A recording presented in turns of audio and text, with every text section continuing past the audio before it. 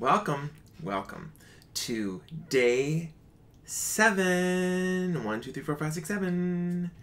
Day seven of 12 Days of Curtis. Thank you for joining me tonight. I am so glad that you're here. And big, massive fist bumps and shout outs to all of the people who have been hanging out with me since night one on December 13. You guys are rock stars. And for those of you who have joined on the other nights, I'm so glad that you're here. This has been a really fun time trying to celebrate some fun facts about Christmas and about me, celebrating favorite Christmas movies, and then also celebrating some favorite Christmas music of mine, particularly off of my uh, original Christmas album, Just For You. And I have thoroughly enjoyed hanging out with all of you online and putting in all this work to make this show happen. It's been a really great experience for me, and I'm so glad that you're along the ride with me. And we are going to get started tonight. Are you ready for the first thing? Because you know what it is. We're one, two, three. On the seventh day of Christmas, my true love gave to me seven swans a swimming.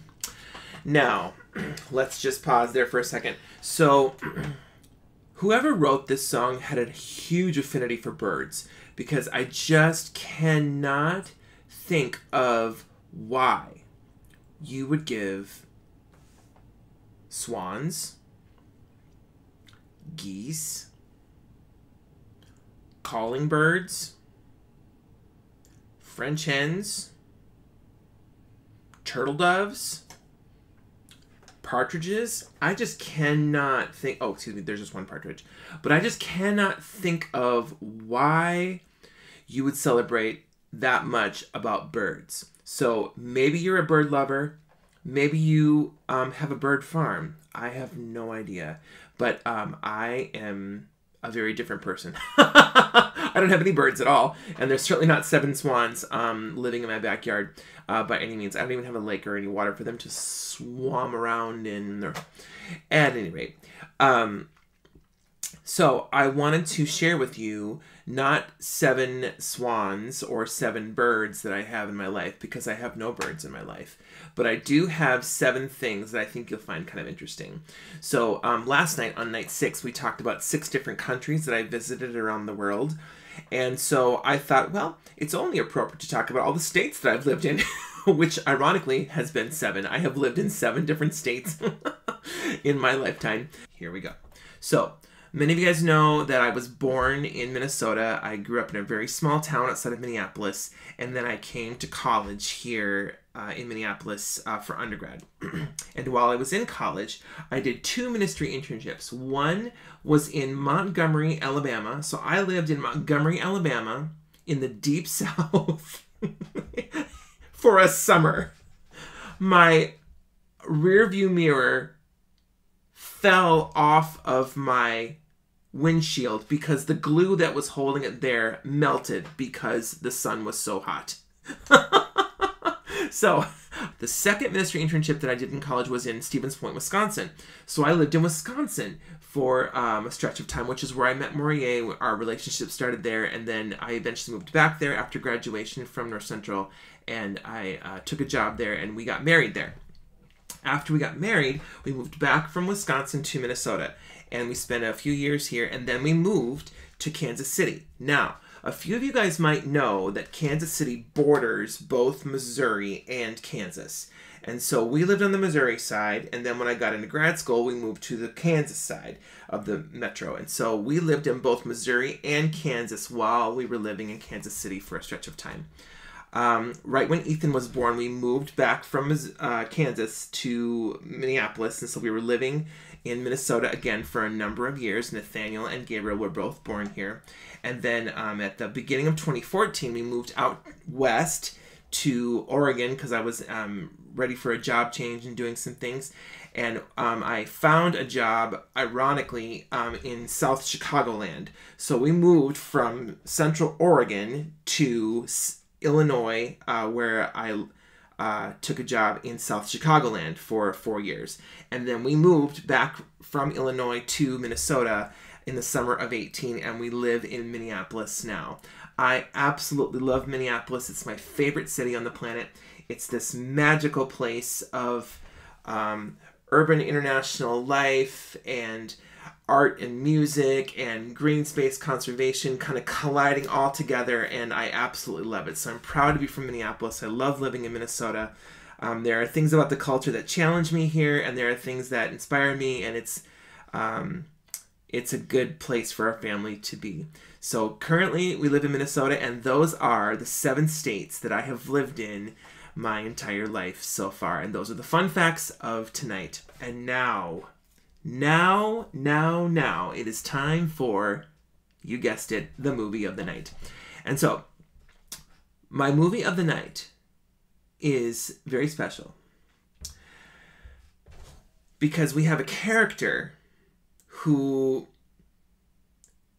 wants to take things from people, but he has a heart change. And you all know and love the fact that his heart grew three sizes that day. And so, my movie of the night is The Grinch Who Stole Christmas. Now, this particular movie is quite unique in that for many years, this is all we had. In fact, before we even had the DVD, it was only available on network television. In fact, in 1966, CBS was the only network to broadcast um, the movie uh, for the public. So for many years, this version was all we had.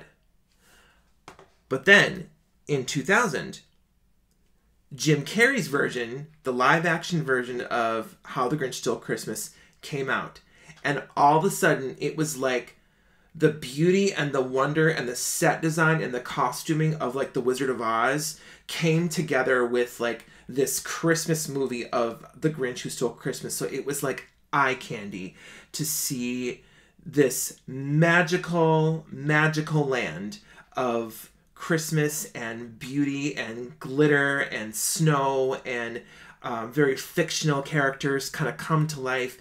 And now we have this character who's larger than life by Jim Carrey on our screens. But then in 2018, Illumination put out a CGI version of The Grinch. So now we don't have just one, we have three versions of The Grinch Who Stole Christmas. And I'm curious which one is your favorite? I have a favorite, and some of you might know what it is, but I want to know what your favorite is. So please put in the comments which version is your favorite, and we're going to cast a vote and see which version wins. And I hope my version wins. We'll just see.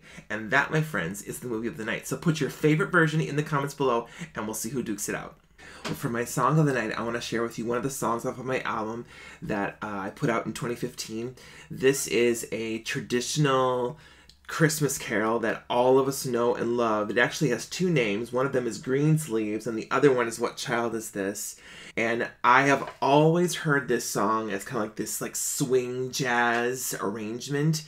So I took the time to uh, really work with my producer to create a kind of a big band jazz kind of style uh, approach to this song, and I want to share you a little live clip, and then I want to play you the track right here at the end of the song. So here we go.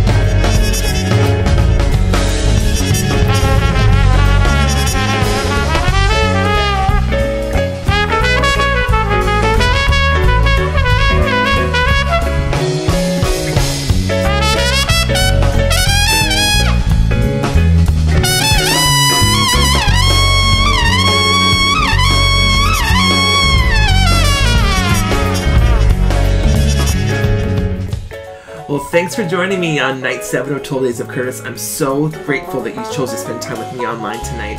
As you guys know, I'm a professional musician and this is what I do for a living. So I'd love you to drop me a digital tip or a donation of some kind in one of my digital cash apps. I'm available on Cash App, Venmo, and PayPal, and you can look me up as Curtis Wayne Hunt. Have a great night, and I'll see you tomorrow for day 8 of 12 Days of Curtis. Bye!